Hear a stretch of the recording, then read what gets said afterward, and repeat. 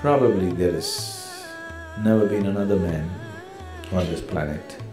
See, shooting at the soldiers who are carrying guns is one thing, but just going there, standing on the street and willing to be beaten down on the heads with cracked skulls, you fall down, one line of people fall down, the next line of people come and give their skulls to be broken again, is a completely different kind of strength. It takes a very deep inner strength for a person to do that.